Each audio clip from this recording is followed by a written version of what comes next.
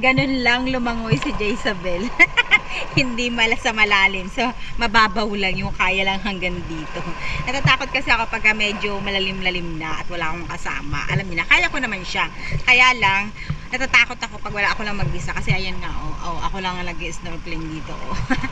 ang oras ngayon ay 10 a.m. Sobrang tirik na tirik na yung agad yung araw. Pero anyway, let's do be Jezebel.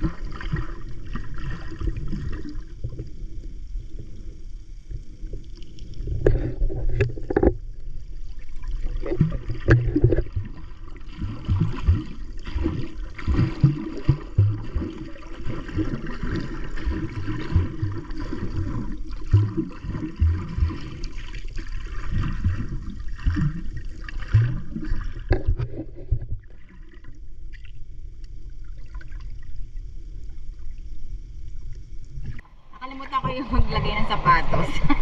Mabato na kasi dun sa may ano eh. Dahil hagis ni daddy. Ay! Ay! Ito yung shoes ko. Nakalimutan kang isuot kasi pag pumunta ka dun sa medyo mabato-bato, masakit sa paa. Kaya hindi pwedeng wala kang slipper. Baka ma- magkaroon ng crack yung paa mo. Naalala ko noon nandoon malapit na ako visit. yung medyo malay, ma, ano na ako, medyo malapit-lapit na ako dun sa may rock. Tapos na naaramdaman ko yung ilalim, medyo ano, medyo nakarak yung pa ako na ano, nakatapak ako ng bato, naalala ko wala pala ako ng slipper. Ay, nako naman.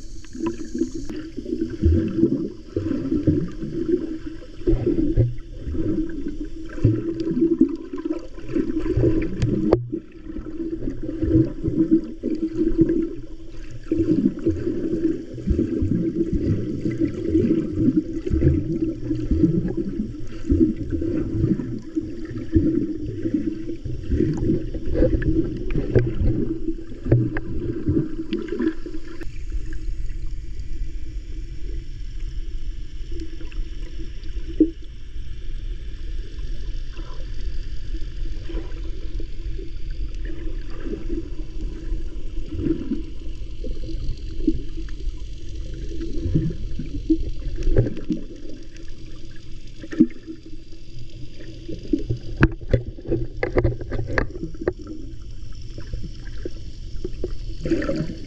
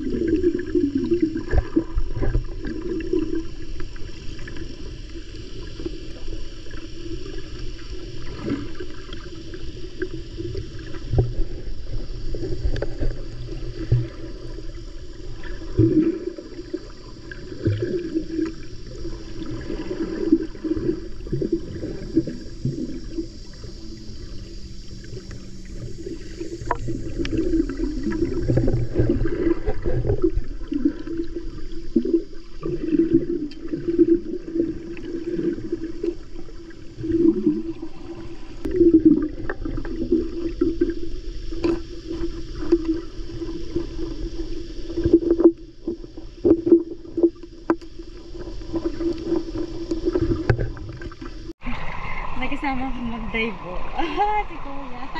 Wala Kuya. Nag, may hinahanap siya. Ah, mag, nanguhuli yata ng, ano, ng mga nasa ilalim. Ang galing yung sumisid.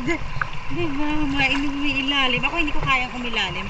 Kasi may, may ano ako, mayroon dito. Oh. Pag ito, pag ito lumubog, papasukan ako ng tubig sa mukha. Kaya hindi ako pwedeng mag, ano, aray ko, aray ko.